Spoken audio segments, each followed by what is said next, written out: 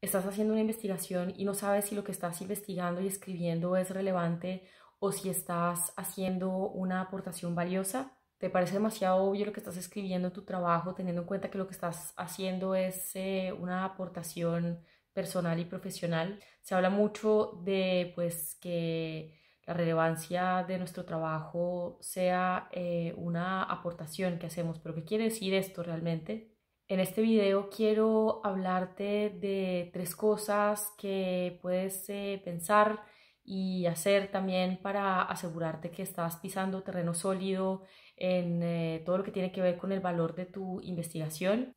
y para que te puedas asegurar que con alta probabilidad pues tus aportaciones sean sólidas y que lo que estás haciendo al final de cuentas pues valga la pena. Hola, ¿qué tal estás? Soy Nadia Jaquín Fernández, fundadora de Mind Academia, que es una mentoría de escritura. En este video voy a hablar de tres tipos de relevancia o fuentes que podrías explorar para completar, digamos, una idea de lo que significa pues la relevancia en tu propia investigación y de cosas concretas que puedes hacer para no ir a ciegas. Pero antes de continuar me gustaría pedirte que te suscribas a mi canal porque así me ayudas a que YouTube muestre con más probabilidad el contenido que publico por aquí y pues eh, que llegue a las personas que lo están necesitando en el momento en el que realmente lo necesitan. Bueno, entonces, ¿cuáles son estas tres fuentes de, relevancia que, por cierto, pueden ser eh, relevancia pensando en la pregunta de investigación, pero también puede ser la relevancia eh, pues de la metodología que estás utilizando para pues eh, llegar a esos elementos de, respuesta, digamos. Como dije antes, la relevancia de, bueno, la pregunta de investigación o de tu metodología está relacionado con em, la aportación que vayas a hacer con tu, con tu investigación. Esa aportación puede ser a dos campos eh, pienso yo, eh, una aportación que tenga en cuenta, pues, digamos, el, tu área de estudio académico o también, pues, una aportación a un campo de práctica, de intervención. Esta es una explicación general de los puntos principales, que son puntos que trabajamos en mis eh, grupos de escritura, también en las asesorías individuales y en los talleres que doy puntualmente. Entonces, un primer lugar donde explorar en búsqueda, digamos, de esa, de esa relevancia es tu intuición y tu curiosidad personal. La idea sería que te preguntaras por qué ese tema de investigación en particular es importante para ti. No se trata de hacer una investigación únicamente porque a ti te parece relevante y ya está, pero sí que ese interés personal debería estar presente a lo largo de todo el proceso de investigación y sobre todo, digamos, este, mm, este interés tuyo debería eh, ser pues eh, la fuente de, de, fuerza que, que, puedas tener también en los momentos difíciles, tanto de la investigación como de la escritura. Y la intuición es una forma bien específica de conocimiento, pues que mm, siento que es la, la, el resumen o la destilación de, de tantos tipos de, de conocimiento que de verdad es interesante no dejarla por fuera en ningún momento ni obviarla. En segundo lugar, puedes pensar específicamente en, eh, digamos, la relevancia eh, de, la, de lo que estás haciendo, lo que estás escribiendo con respecto a un campo de estudio, ¿no? Entonces, para esto es, eh, bueno, es una de las, de, las funciones, digamos, de la revisión de la literatura. Y entonces, en ese sentido, pues, em, lo que te propongo es que para cada lectura que hayas hecho con la intención, pues, de entender cuál es la relevancia de tu investigación, pues que te preguntes lo siguiente y es de qué manera apoya este texto la necesidad de mi propia investigación, ¿vale? Y si estabas preguntándote sobre pues la relevancia o aportación con respecto a un campo de estudio, pues eh, tu revisión de la literatura debería pues permitirte hacer un esquema de ese campo de estudio en el que quieres inscribir tu propia investigación y eh, que puedas de alguna forma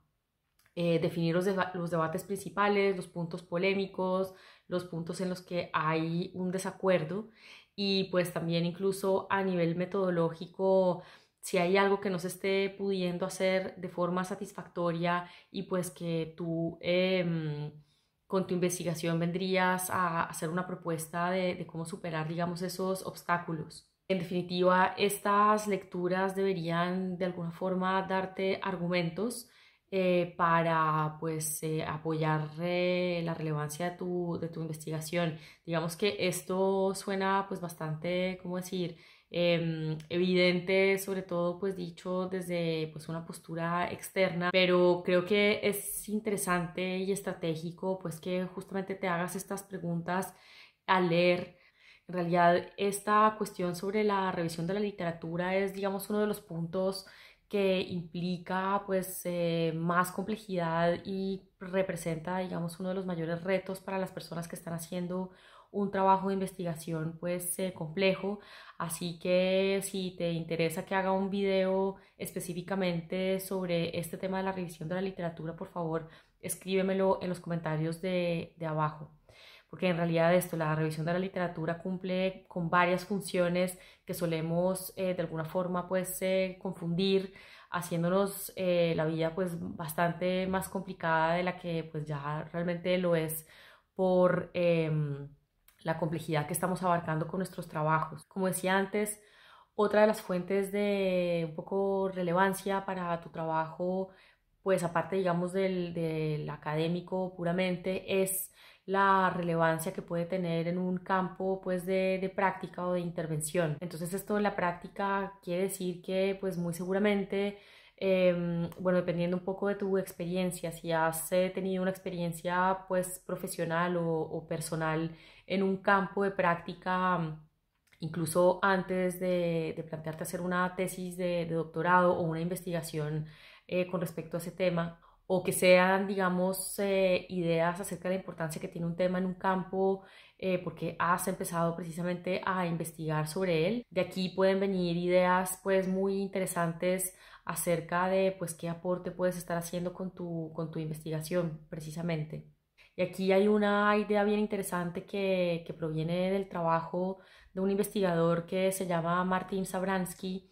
que tiene un libro pues que, que mm, te recomiendo si te interesan estos temas y es que de alguna forma tenemos o es deseable eh, tener en cuenta lo que es importante en los lugares en los que las cosas están ocurriendo, ¿no? Em, digamos que lo expreso de una forma bastante general porque esta idea de importancia puede estar relacionada con eh, investigaciones que se interesen por el devenir de lo que llamamos desde lo social, lo político, lo cultural, lo técnico, lo tecnológico y todo lo que tenga que ver con la vida en la Tierra. Y las preguntas que te pueden ayudar a, responder o a explorar este aspecto eh, podrían ser algo así como, bueno, en esta situación o en este espacio o en, o en este evento o con respecto a este fenómeno, ¿qué es lo que está en juego?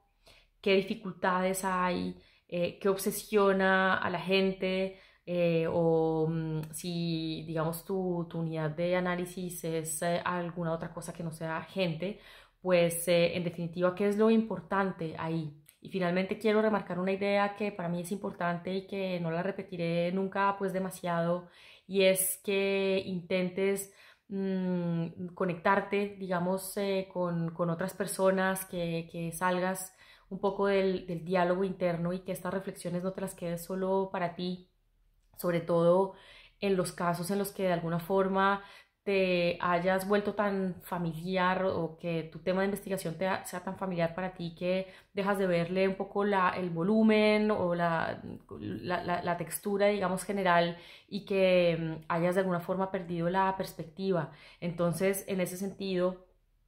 todo lo que, lo que tenga pues que ver con tener conversaciones académicas eh, será pues bienvenido. Entonces, en este sentido, por ejemplo, charlas que tengas informalmente con eh, colegas, con compañeros, compañeras, eh, luego pues que en las conferencias y en los seminarios mm, veas o estudies al menos la posibilidad de tener pues conversaciones muy genuinas con respecto a estas dudas que tienes em, en relación a las aportaciones que pueda tener tu, tesis. Ojalá que pudieras plantearle esta duda muy legítima a tu director, directora de tesis y eh, si por lo que sea pues tienes detectada una persona que, que, bueno, te interesa mucho su trabajo, pues que le puedas escribir un correo electrónico con, con, estas dudas. ¿Y cómo se puede dar forma a todo esto en la escritura? Pues esto es a través de mm, redactar o escribir una problemática de investigación. Pero el cómo se hace esto daría también para otro video, así que va una segunda pregunta para ti y es si mm, tiene sentido, eh, te vendría bien saber un poco más eh, acerca de cómo se escribe, bueno, y conceptualiza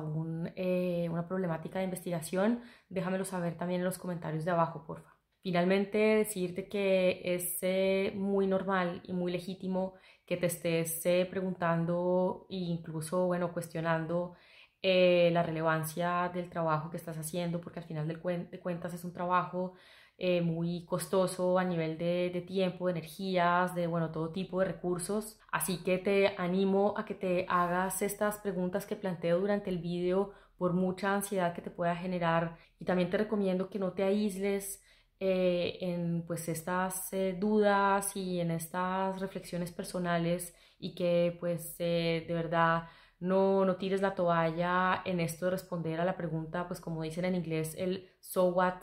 eh, de, tu tema de investigación, el, vale, y, esto pues qué, porque es interesante y que lo hagas de forma satisfactoria para ti, para un campo eh, académico y también para un campo de, práctica. No digo que sea necesariamente súper fácil, pero sí digo que es eh, totalmente posible. Si trabajas en la universidad y estás comprometida con el bienestar de las personas que, que trabajan en tu institución y te interesan Em, pues el desarrollo de habilidades, no dudes en ponerte en contacto conmigo ya que gran parte de mi trabajo está encaminado a lograr que estos conocimientos y estas prácticas lleguen al mayor número de personas posible para que cada vez seamos más las personas que eh, tengamos un trabajo como investigadoras y escritoras que tenga sentido para nosotras y que tenga un impacto positivo no solamente en nuestras vidas, sino en todo lo que nos rodea, para poder tener una vida como investigadoras y escritoras eh, que sea satisfactoria, no solamente para nosotras, eh, sino pues que nuestro trabajo tenga un impacto positivo en todo lo que nos rodea. Cuéntame qué te parece este video, dame tu like si te sirve, si encuentras útil el contenido que subo por aquí y comparte tus preguntas aquí abajo porque así eh, me das ideas sobre, bueno, qué videos pueden ser relevantes para ti. Y nos vemos muy pronto por aquí. Venga, pues un abrazo, mucha estrategia y mucha confianza.